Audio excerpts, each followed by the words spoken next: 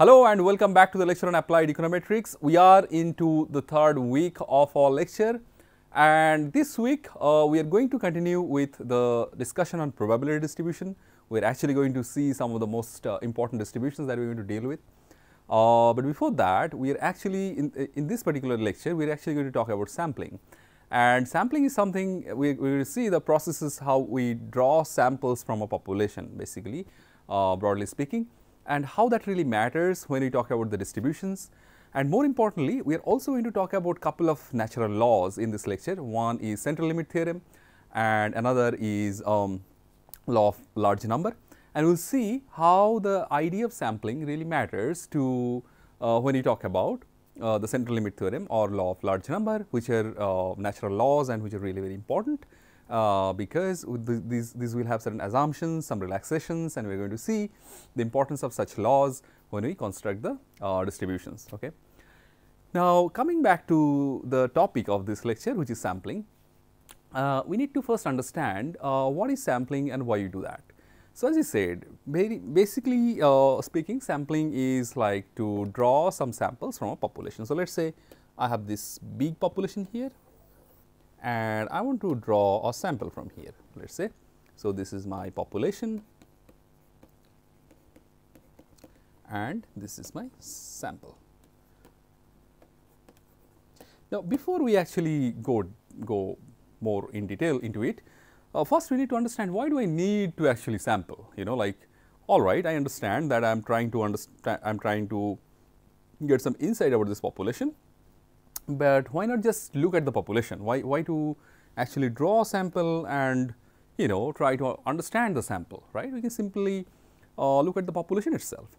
The reason why we do sampling is that as such uh, getting entire data from the population is almost like you know could be very very difficult, it might be impossible in some cases and it is really prohibitively expensive, uh, it, it like it consumes a lot of time, a lot of manpower and also the money of course uh, is involved.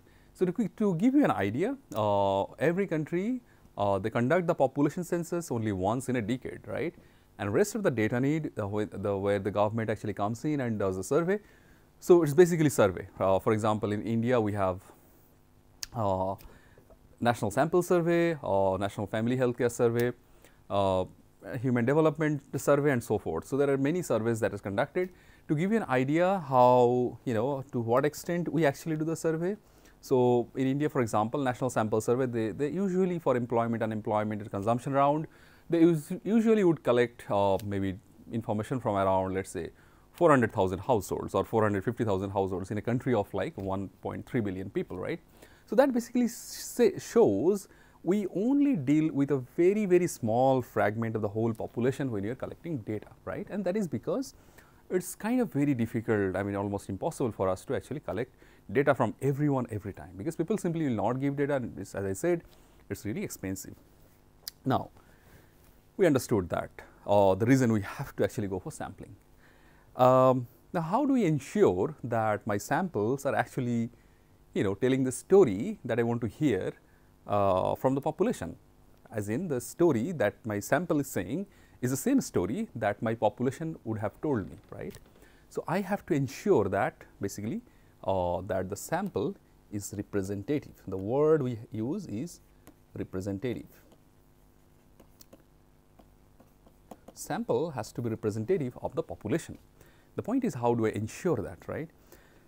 Uh, if I can't ensure the sample as a representative of the population, so it will tell something that is not true about the population. So, the whole purpose of doing the sampling would be defeated. So, I want to ensure that the sampling that I am doing for the purpose I am doing that is actually hold true. Now, to actually understand how we um, you know go to go from sample to population or how we ensure this representativeness, we have different types of sampling and it is a good idea uh, I think to actually start with those different ideas of sampling and see how the samplings, the different sampling techniques are actually talking about different things.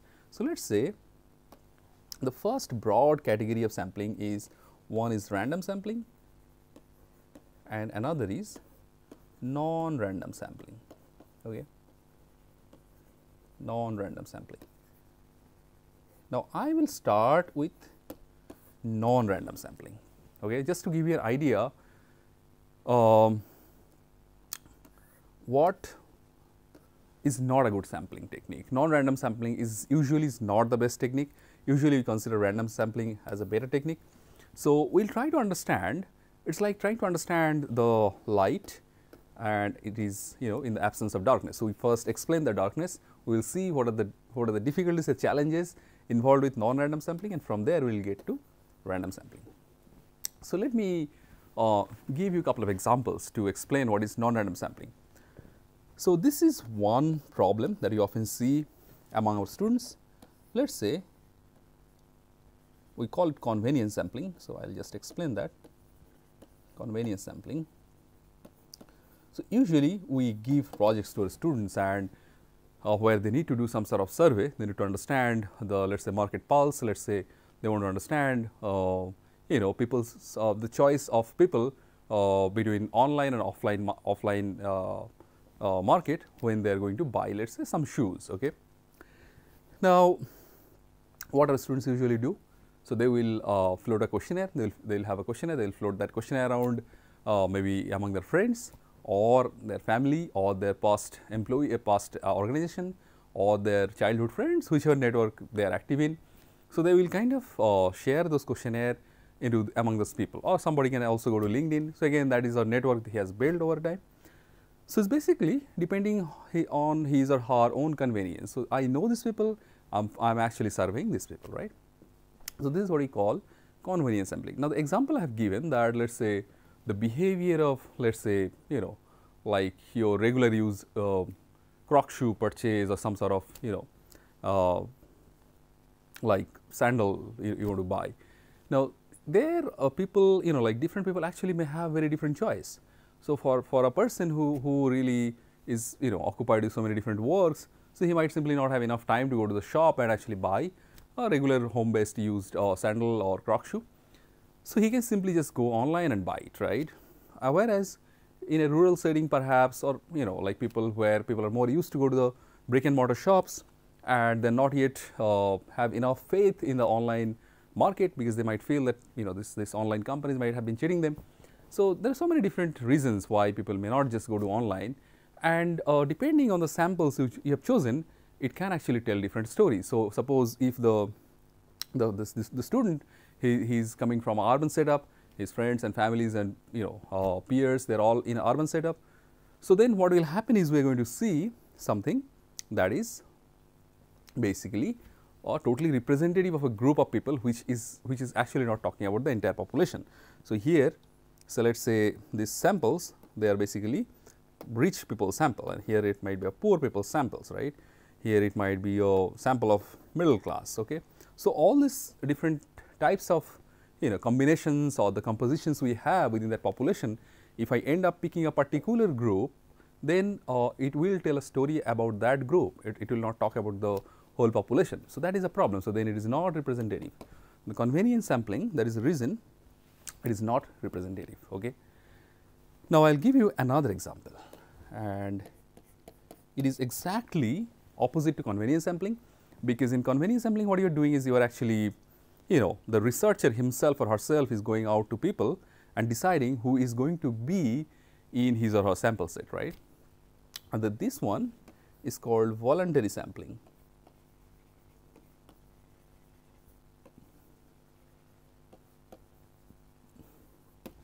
Here you are actually allowing the participants to voluntarily come and be a part of your survey. Okay. So, here what people are doing the your the candidates who are interested to be a part of your survey they are actually self selecting themselves the word is self select self selecting themselves okay self selection so they are deciding to be in that uh, group now who are the people who will uh, decide to be in your group. And depending on who are the people who actually wants to be a part of your survey that can actually you know give you a story which is which perhaps very very far from the truth. And I can give you an example. Let us say uh, let us say you want to actually understand how busy people are uh, on, on you know in, in New York City at 10 a.m. in the morning right? Say on, on Monday morning. And you decided to let us say you know stand next to a corner and you saw all the people going and you sort of ask people whether you know they want to participate in a survey, you want to understand if they're really busy, you know, on a, on a Monday morning, 10 a.m. Now, most people say, no, I, I, really have some work, I can really, you know, participate in your survey. And some people might just come in and they say, yeah, I can definitely, you know, talk to you for a couple of minutes. And they will tell, they'll tell you that, no, perhaps Sunday is a very relaxed day for me. I just, you know, go around, I have nothing much to do. So, the thing is the people who really don't have much to do, they will come and actually answer you, right? And that is the reason the, what will happen is you will get a picture that Sunday, uh, Monday morning 10 a.m. New York City is really, really, you know, relaxing. I mean, people are, people are really not that busy, right? So that is actually going to give you a completely, completely distorted picture just because the people who have self-selected themselves, they perhaps are the people who really don't have much work, rest of the people are actually really, really busy. So then you can see how both this convenience sampling or voluntary sampling could be really misleading. Okay? And that is the reason we prefer a sampling called random sampling. Okay? And I am just going to explain what is random sampling. Uh, and before I actually define it, random sampling, I will talk about the techniques and then we will, when we explain all the techniques, we will explain what is random sampling. Okay? We will go get into the theory part after we have after we see how it is done. So, there are different ways of doing it. The fundamental concept remains the same, but there are different ways of doing it. The first technique that I will talk about, it is like well established, economists have been using it, statisticians have been using it for very long and that is basically random number table, random number table, random number table okay. And I'm I've actually got a random number table for you here. So, you can just simply uh, search random number table in Google and you will find these tables available there. So, this is a table and I will just uh, explain in a while oh, you know what this table is and how that is uh, important, how that is helpful uh, for ensuring my sample is random. Let us say uh, in our MBA program we have 60 students and we have suddenly recently launched a program called let us say you know like Python bootcamp. And I want to see let us say let us say once they get into the job market I want to see how this Python bootcamp is going to help them in getting a better better salary. I mean that is what I my research objective is.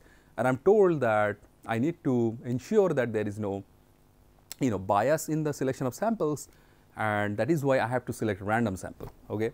So, that is what I am told. Now, I am also told let us say I do not know anything about random sample, but I am told that you know what you can actually use this random number table and there is a way that you can ensure how you can have the sample which is random. So, the procedure will go like this. So, first let us say there are 60 students and let us say I have to choose 30, 30 among them. Okay. So, to do basically to use a random number table I will just lay down, lay down the steps here. So, first all the observations you have the entire population. So, here my population is my classroom which is 60. So, entire population has to be ranked or has to be assigned a particular number. Okay. So, numbering let us say numbering all you know units let us say. So, here I, I number all the units all the students and let us say I uh, number them using their roll number let us say. So, I have a number 1 to 60. Okay. Now, second I will go to the go to this random number table here and what I will do is I will actually decide how many numbers I need to take. So, basically I can take let us say 3 numbers let us say I can take these 3 numbers or I can take let us say only 2 numbers or I can I can let us say start from here with 3 number or I can start from there with 2 number. So, there are all these possibilities are there right. So, I need to decide what I am supposed to do here. So, since my I have my my number of students are 60 which is a 2, 2 digit number. So, I will only select I will perhaps is a better strategy to take 2 digit numbers from the random number table. Now, so to do that perhaps it is a better idea when I select 1 to 60 to give a number 0 1. So, basically the numbers are going to be 0 1, 0 2, 0 3, so forth into 60. Okay. So, all the numbers there will be 2 digits. Now, once it is done from in the random number table, what we have to do? We have to select two numbers and to select two numbers, we, we can actually initiate from any point. So, I can write it as a random initialization.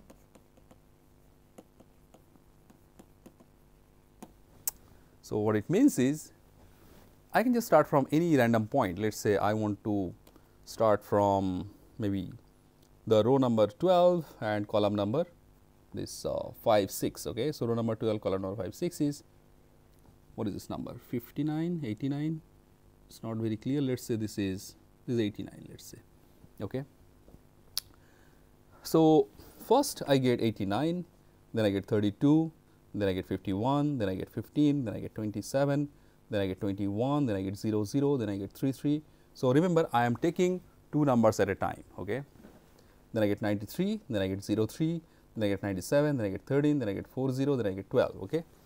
So, the idea here is we will take those individuals who are the numbers, these numbers are same as the roll number. Okay. So, that means in this selection procedure, I have to ensure that any number that is below 1 or below above 60 we exclude those numbers. Okay. So, 0 0 will be excluded, number below 0 1 or number above 60 are to be excluded.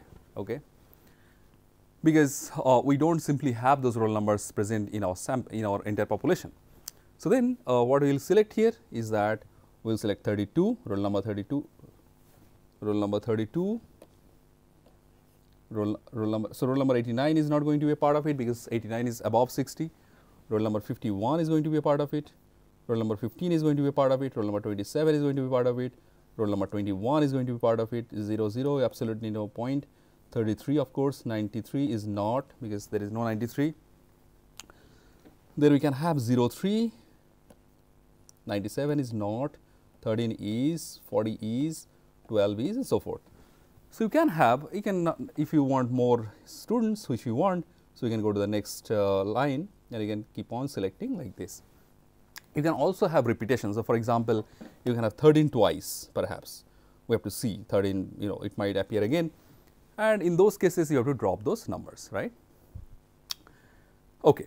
So, that is how you basically select uh, your your you know individuals using random number table. So, it is absolutely that the your roll number and this random number table it is there is no correlation no nowhere they came from the same source and since the numbers are already there and you are using it you know that way. So, you can basically select the individuals. Okay. Select the individuals basically basically you, you drop the drop the repetitions, drop the repetitions of course and you create the final selection, final final selection. So, we try to be, we try to ensure that there is there is no way that there could be any bias from the researcher or from any other source when you are selecting individuals because that is the only way we can ensure some randomness. Okay. So, this is one procedure that that people have been using for long but once we have Excel available with us, there are other relatively easier way of doing it. So, let me just show you how using Excel we can actually create some random numbers. Okay. Let me just show a Google spreadsheet and I was just typing down this. So, there is a function uh, in Excel. So, there is a function rand and there is another function rand between. So, let me first start with rand between, rand between, rand between. So, the idea of rand between is that it will create random number between two whatever number upper upper limit and lower limit that you provide. Let us say I provide 1 to 60. So, it will create random number between 1 to 60. So, let me first do that 1 to 60 and I see what 45 okay 45 so, it will include both 1 and 60 uh, for rand betweens and it will it can also repeat uh, the same number twice like we have seen previously. So, and you can see 60, 40, 50, 42, 23, 3, 8, 60, 15, 36, 54, 52, 4, 18, 16, 35, 6, 15, 16. So, basically let us say you want to select let us say not 60, but 10 let us say and then you will end up selecting uh, roll 60, 40 let me actually write down looking at this table. So, I will just take the first 10 or I can also decide to start from here it is totally up to my decision my choice. I can start from column uh, row number 13 or I can start from row number 8 whichever way I want. So, let us say I start from row number 13 and I go from here. So, 3. So, I will have rand between function. So, this is the second way of doing rand between. Here I will have A, okay, this is my B. So, if I use rand between function, I will have let us say I have to ensure I, I have to basically the upper limit and lower limit I have to give and since there could be repetitions. So, always choose sort of more number of observation, more number of observation than required, than required because I might have to drop some, some numbers. So, if I just go back to the table and let us say I want to start from here. So, let us say I want to I want 10 students. So, 3, 8, 60, 15 let me just write down 3, 8 again what was that 3, 8, 60, 15, 60, 15 36, uh, 54, 52, 4, 36, 54, 52, 4 and then I have two more number uh, 18, 16, 18, 16. So, incidentally we do not have any uh, repetition, but there could be repetitions. Okay. So, you can basically, so basically you can random initiate here random initialization just like before and we can get all these different uh, you know you can get a final list of candidates that you want to actually deal with. Okay. So, this is uh, how you use rand between uh, this, this could be a very simple way uh, you can actually you can actually what you can do is you know the perhaps instead of doing a, a, all these things you can simply write down the name of the students on on a list on a list basically and you can like you can you can create like small coupons okay so everywhere you can just write the numbers 56 25 13 02 maybe you know 49 and so forth and you fold them and like your lottery you just you know like shuffle them well inside a bowl and then you decide to choose let us say 10 of them okay so, that is that is the that is another way of of course randomizing. So, you can see all in all the processes we are trying to see that when you are choosing the individuals we really do not have any hand in that really it is just happening uh, on its own it is just happening as as like a natural choice. Okay. Now, there is another uh, way of doing it and that is basically using the function rand and here we simply do not write anything so, how we can do it is let me actually go back and let me actually write down rand.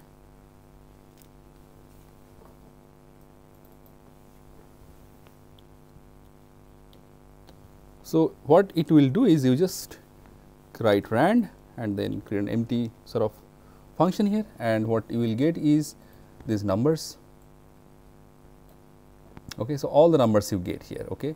So, perhaps it is a better idea if we can you know like we did for random number table we can actually create something similar to that.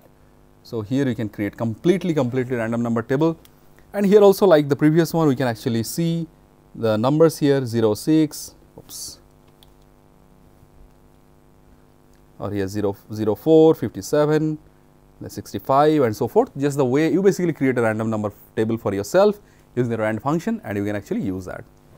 Now, we are almost uh, you know finishing the talk on on this random sampling and I am going to go to the theory part in the next lecture. But before I go there, uh, there are a few things we perhaps need to just mention is that it could be I have taken uh, examples where I am taking only 2 digits uh, for example, the roll number of students, but it could be like 3 digit, 4 digit, 5 digit. So, then what you do usually you actually take something like something like maybe you know if it is a 5 digit thing you can take 0 0 0 0 1 0 0 you know 0 1 0 like if it is 10 if it is 11 0 0 0 1 1 something like that. So, you basically ensure that the length of the numbers are going to be constant you basically pick the same number of uh, you know digits whenever you pick the numbers depending on how many numbers you need. Okay. So, if, if you know there are that many numbers, so you have to sort of ensure that you maintain the consistency. Okay, so with this uh, we will end the lecture. Uh, we will we have basically discussed about uh, we sort of introduced sampling in this lecture. We talked about you know the non-random sampling first, and then we have spoken about the techniques of random sampling. And we in the next lecture we are going to talk about you know different types of random sampling and you know like you know how they are different from each other and uh, you know particularly we will emphasize what is simple random sampling. With this we end the lecture here. Thank you.